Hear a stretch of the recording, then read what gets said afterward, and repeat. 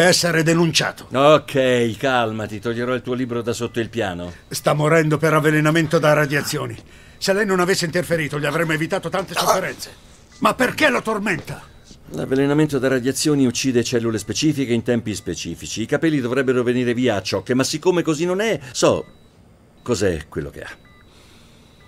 Dio, è un cancro del sangue, il morbo di Waldestrom. Le radiazioni sono la causa delle infezioni. Infezioni Se ci fossero volta prove di azioni sospette e evidenti, stareste torturando qualche boliviano invece di mettermi in stato di eccitamento sessuale.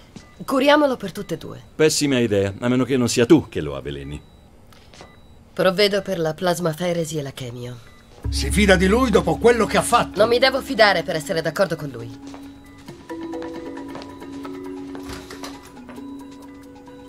È un ottimo argomento. Ho commesso un mucchio di sbagli, ma a te non dar retta. Quindi o io le piaccio alla follia o lei odia te alla follia. E io sono venuto col jet.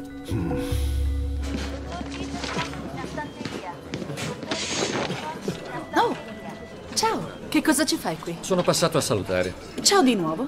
Dov'è la signora Berman? L'ho mandata a casa. Ma doveva fare un'angiorisonanza. Eh, se dovessimo farla a tutti quelli con il mal di testa. Non era un mal di testa, era il peggiore della sua vita. Allora buon per te che sia un neurologo. Ha mangiato formaggio e bevuto vino. Entrambi scatenano l'emicrania. Non ne ha mai avute prima. E io non avevo mai assaggiato i mirtilli prima che me ne offrissero. I mirtilli non uccidono, questo è un classico aneurisma cerebrale. Wow, davvero una bella lezione. Se sbaglio con il paziente di qualcun altro, rischio di passare per un maledetto invadente. Rintraccia la signora Berman. Aspetta.